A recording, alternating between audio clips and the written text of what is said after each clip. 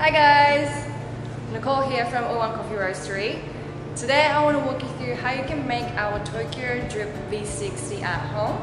So first thing that you'll need obviously is ground coffee. So if you don't have the privilege of having a coffee grinder at home, you can have your local roastery or cafe or even us to grind your freshly roasted coffee for you. Today I'm going to be using 20 grams of our Bali Kintamani coffee. Um, 20 might seem a little a bit extra, but I'm using 20 because this is roasted maybe about a month ago and I want to try and eliminate, eliminate the aged flavors out of my brew.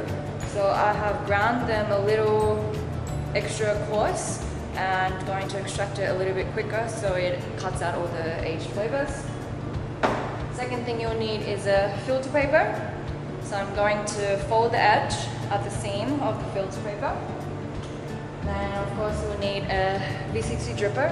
We like to use a Kono dripper because it doesn't have the grooves all the way to the top, which means it gives us an airtight um, between the paper and the filter itself and it will eliminate any air coming through. And then you need a server and of course a pot thermometer, preferably to measure your water at 90 degrees. So we'll get right into it.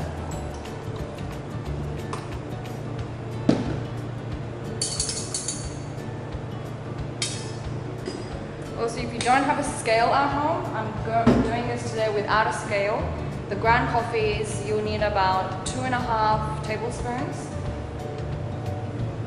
And water, Just go by the direction of the lines and also over here. To try and aim for about 200 to 250 extraction. So dump the coffee in the top. You want to flatten the base, have a nice and flat, even coffee bed. So what I'm going to try and aim to do is pour the water directly into the center. Go clockwise all the way around to the outside, trying not to touch the paper, and then continuing away to work inside back into the center and then that'll be my fast pour. So let's give it a go. I'm gonna go all the way around to the outside, back into the center, finish in the middle. So it's roughly, very roughly gonna be about 35 to 40 grams of coffee.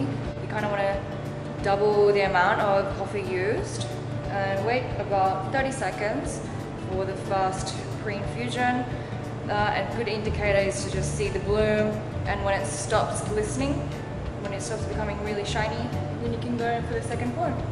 Again, straight in the middle. This time I'm going to do small circles just in the center.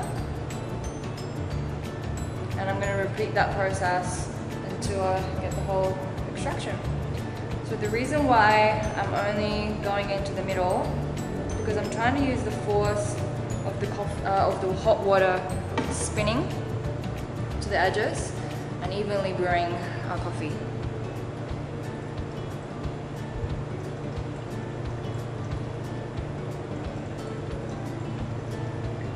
I may not be doing such a great job today, but you want to have a really gentle, thin line of flow spinning it around, little circles, maybe yay big.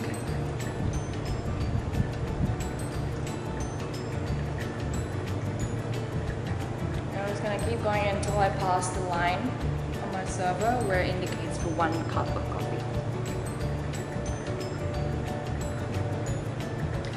Now if you're brewing two cups of coffee, I would use maybe an extra 10 grams. So I wouldn't double up the ground. It's just not necessary. And I also don't pre-wet the paper because I find that it kind of loses the body. Wetting the paper can give you a cleaner taste of the brew, but also don't personally find that it gives a papery taste. And by not wetting the paper, I believe I can get away with using less coffee.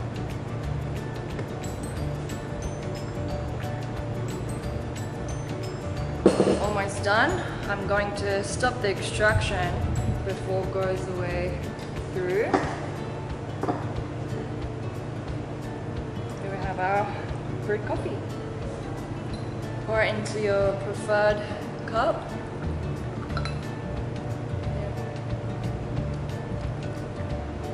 Cheers. Cheers. Tokyo Drip V60 at home.